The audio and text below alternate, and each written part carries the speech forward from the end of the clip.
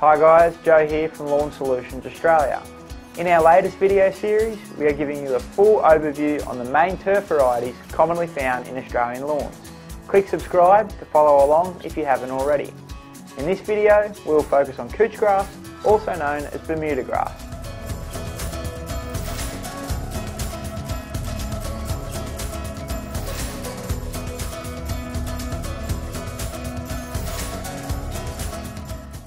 Couch grass is a warm season grass that is native to most areas of the Eastern Hemisphere. These grasses are commonly known to be highly drought and wear tolerant. A manicured couch lawn can look great in front of your home, however a bit more time and effort is required due to its fast growth rate. Couch grass thrives in full sun areas and has very strong horizontal growth. This allows it to tolerate very low mowing heights.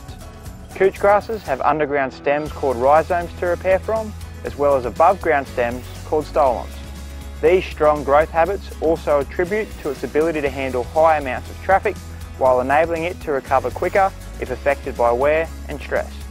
This makes couch turf suitable for large areas such as sports fields, golf courses and parks or recreational areas and for a high traffic home lawn with pets. Older couches are not one of the most shade tolerant turf types needing in most cases a bare minimum of 5 to 6 hours direct sunlight a day. Newer varieties however, like TifTuf Hybrid Bermuda, have shown significantly better shade tolerance than existing couch varieties.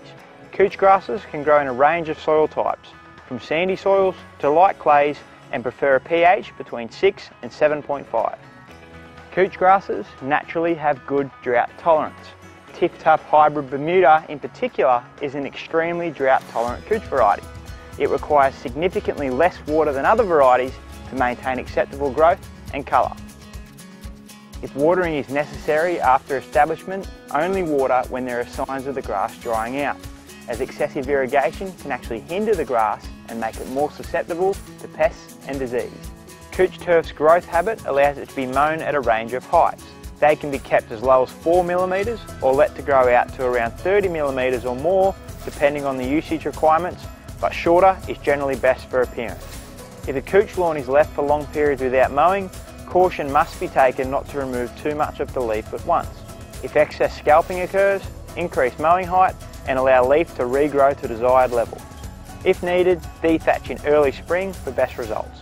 Couch grasses perform their best when fertilised regularly throughout the year. It is important to consider whole of plant health when applying fertiliser and to avoid the overstimulation of leaf growth with excessive nitrogen, particularly during the warmer months. Liquid iron, natural colorants and other micronutrients can improve colour without the use of nitrogen-based fertilisers. Add nutrients in measured amounts and monitor growth and health of the grass before reapplying. TifTuf was specifically bred to require less inputs than other warm season grasses.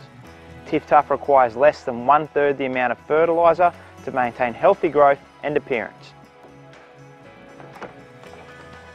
The rapid coverage and dense undergrowth of couch, combined with its low input requirements and winter growth activity, means that a healthy couch lawn can successfully compete with weeds and other grass species that may try to invade your lawn. Couch grass also resists several pests and diseases that may need some assistance from time to time. The couch lawn can be treated with most commonly available chemicals that are suitable for couch grasses. Ensure application directions are followed and if unsure, it is always a good idea to check with your Lawn Solutions Australia supplier for chemical compatibility before use.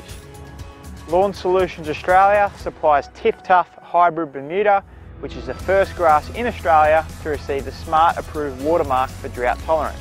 This makes it the best choice in couch turf for our harsh Australian climate. If you think couch grass is the right variety for you, get in touch with your nearest Lawn Solutions Australia member for more information. Keep an eye out for episode 3 of our Turf Variety series, which is on zoysia grass, by clicking the subscribe button. Thanks for watching, and we hope to catch you next time.